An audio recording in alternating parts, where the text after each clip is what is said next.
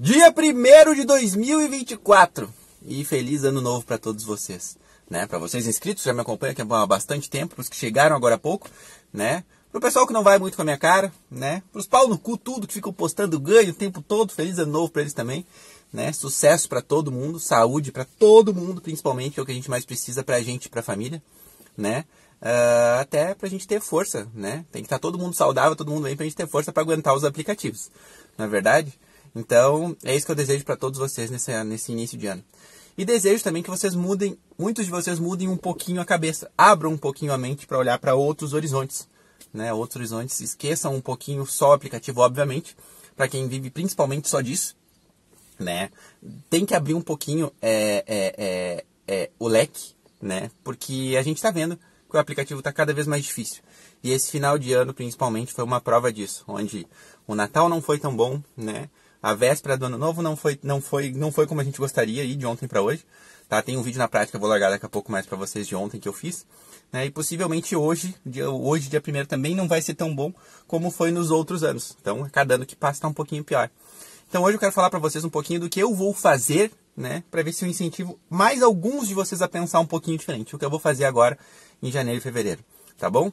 É, como vocês sabem, como muitos de vocês sabem, eu imagino que alguns não, eu sou funcionário público né, de uma cidade, duas cidades aqui do lado da, da, da, da minha, do lado de Canoas, né? Na verdade é de Sapucaia do Sul ali. Sou técnico de enfermagem, né, especialista em enfermagem do trabalho. Não trabalho na minha especialidade hoje, né, que é enfermagem do trabalho, mas é a área que eu sempre gostei, é a área que eu mais gosto de atuar, tá?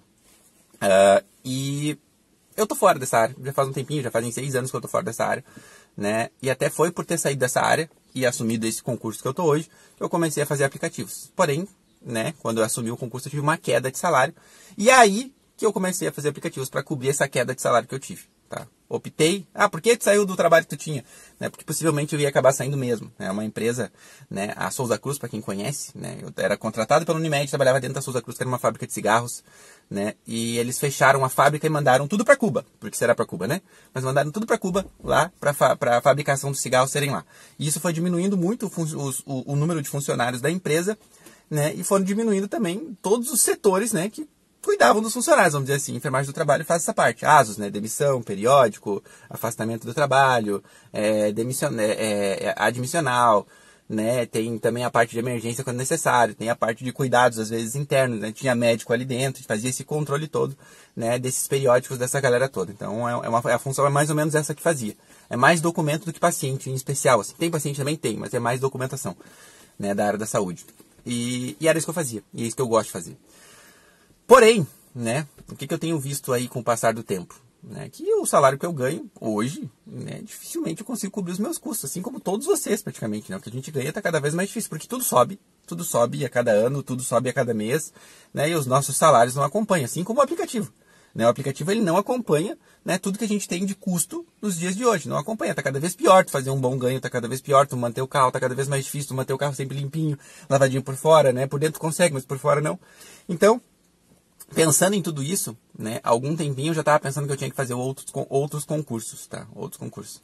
E tem três concursos que sempre estão na minha mira, assim, três, três. E agora, dia 28 do 12, abriu um desses concursos, tá? Concurso muito difícil, muito concorrido. Essa área de técnico de enfermagem do trabalho, né, é uma área que sempre é poucas vagas que abrem, porque normalmente é poucas pessoas que trabalham em cada local, em cada empresa. Dois, três, quatro, cinco no máximo, né? Enquanto a área para técnico de enfermagem tem concursos a mais, a, a, a, é, é, com muito mais vagas, tá? Mas aí é fora da minha área principalmente hospital. E hospital eu nunca gostei de trabalhar, assim. Eu não tenho, eu realmente eu não tenho, como é que eu vou dizer para vocês? Eu não tenho tanta frieza para trabalhar no hospital, porque é por acompanhar muito próximos pacientes, assim. Eu não gosto desse vínculo. Esse vínculo para mim faz mal.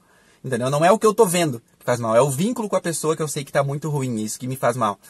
Então por isso que eu não gosto de trabalhar no hospital. Né? Emergência, urgência, ambulância, SAMU, que nem eu já trabalhei, isso aí não tem problema nenhum né? Mas o vínculo direto com o paciente muito doente não me faz bem, entendeu? Então por isso que eu não gosto de trabalhar no hospital. E essa área é a área que eu, que eu me adequei muito mais, né? Enfermagem do trabalho, que eu não trabalho hoje em dia.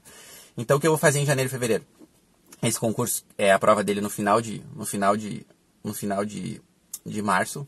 Então eu vou aproveitar esse período que é baixa demanda dos aplicativos e vou estudar bastante.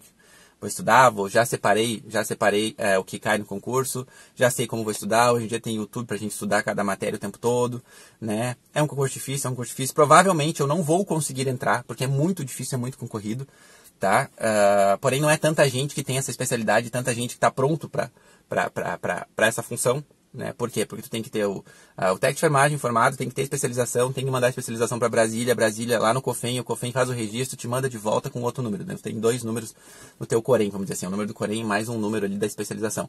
Então tem muita gente que não tem isso, muita gente parou na parte de mandar para Brasília, e essa parte é demorada. Então quem não fez isso muitas vezes perde essa chance por causa que já não tem isso na hora que chamarem do concurso. Então, a gente vai fazer, vamos se esforçar o máximo possível, né? E por que, que eu estou falando isso tudo para vocês? Tá? Por que eu estou falando isso tudo para vocês? Porque eu quero justamente isso, né? abrir um pouquinho a mente de vocês. Tem vários concursos rolando por aí.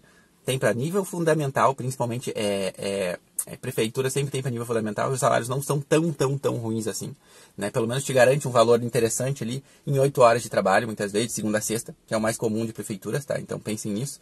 Tem o nível, o nível, o nível médio, né? Nível médio normalmente já sobe um pouquinho o salário. Depois tem os técnicos todos, para quem já tem algum técnico aí, né? Pensar nisso, tem concurso rolando de, de, de Banco do Brasil que está para sair, tem concurso de, de Banrisul para quem é daqui. Ou seja, tem concurso sempre para tudo quanto é lado aí, tem. Só que o problema é que é, a galera esquece que existem esses concursos, né? E além de esquecer que existem esses concursos, é muito complicado parar para estudar. É verdade, é ruim. Eu, eu confesso para vocês, eu nunca gostei de estudar na vida. Né? Estudei para concursos que eu passei né? Porque eu passei, eu estudei, eu, eu, fiz, eu fiz seis meses de cursinho, não foi para esse concurso especial, foi para outro. Só que o outro concurso que eu estudei me deu muita base para esse que eu passei, né? Então, se eu não passar nesse que eu tô, vou focar agora, né? Se eu não conseguir entrar, que eu acho até que eu passo, tá? O difícil é eu entrar por ser uma vaga só, então tem que estar com a nota muito alta, entendeu? Então essa é a parte difícil, entrar, mas passar acho que eu passo. Mas, por outro lado, né, vai me trazer mais conhecimento. E quanto mais conhecimento para os próximos concursos, melhor né? Então, tipo assim, é isso que eu digo para vocês. Às vezes, a gente vai se frustrar porque vai tentar alguma coisa e não vai dar certo, né? A gente estudou, se esforçou e tal. Porém, isso te trouxe mais conhecimento para um próximo, entendeu? E tem mais dois que estão no meu radar que possivelmente abrem concurso esse ano ou no ano que vem, né? Que abrem de pelo menos aí de dois em dois anos, né? Esses concursos que eu foco. E esse de agora não, esse de agora é mais raro, é a cada quatro anos. Mas, mas, nem por isso eu vou desistir, nem por isso eu não vou tentar, né? E é isso que eu digo para vocês tentem, abram os olhos, olhem concursos, tá? Eu tenho meu irmão que está sempre muito focado nisso. Meu irmão é muito bom, muito inteligente, né? E, e ele e ele está sempre mais ligado nisso. Ele está sempre estudando, ele nunca para de estudar, assim, nunca para de estudar. Né? Então ele é um exemplo para mim disso, porque ele realmente nunca para de estudar, nunca. Só que ele gosta, né? Isso que ele gosta. Eu não gosto muito de estudar, né? Mas vamos estudar. Vamos aproveitar a baixa demanda, né? Vamos ter o material dentro do carro aqui para estudar enquanto a gente está parado esperando corrida muitas vezes, entendeu? Ah, em algumas situações eu vou selecionar só uma categoria, só dinheiro para o aplicativo tocar menos menos. Se tocar, só toca corrida um pouquinho melhor para a forma que eu quero, né? Já que a gente se organizou um pouquinho em dezembro, né? Janeiro, fevereiro eu vou diminuir um pouquinho para focar nisso, né? Dia de semana possivelmente vou trabalhar muito menos, final de semana vou focar naqueles horáriozinhos melhores, só para pagar as continhas ali que é o que eu preciso fazer mesmo do aplicativo, né? Sem forçar muito, né? Então é isso que eu falo para vocês e quero, gostaria, né, que abrisse os olhos de alguns de vocês. Desde o início do canal, eu sempre falo, e algumas pessoas ouviram, tá? Desde que não dependa somente do aplicativo. Lá na época boa do canal. Lá na época boa, no início do canal lá, entendeu? Onde ainda falava de ganhos, depois parei de falar de ganhos por, por solicitação dos inscritos mesmo, que isso não era legal, né? Então, desde aquela época eu sempre dizia, é bom hoje, mas vai ficar ruim. Hoje está bom, mas da forma que é, não tem como se manter bom para sempre. Procure outras atividades, estude, faça um curso, guarde dinheiro, faça alguma coisa do tipo. Né? Faça um curso. Desde o início do canal eu falo isso. E algumas pessoas, sim, mudaram. Né? Eu tenho o exemplo do meu parceiro Bruno, que ele pegou e abriu um negócio dele pequeno, né? E, e deu certo. Deu certo e foi indo, né? Hoje ele faz Uber só quando ele está afim de trabalhar, né? E muitas outras pessoas também focaram nas coisas que eu falei, disseram, ó, realmente faz sentido, né? E fizeram um pouquinho diferente, procuraram outras atividades, porque só aplicativo hoje está cada vez mais difícil. Né? Para quem usa como horas vagas para complemento de renda, também não está fácil. Né? Então, tipo assim, a gente está vendo o que, que, vai acontecer. Outra coisa que eu indico para vocês agora, verão, aqui para nós isso é muito mais forte, porque aqui o verão é só nessa, nessa época do ano, né? janeiro, fevereiro e março praticamente. Essa época é uma época boa de procurar empregos também. Por quê? Porque tem muita gente que abandona os seus empregos para a praia. Tem gente que não admite não estar na praia no verão. Tem muita gente com cargos bons aí.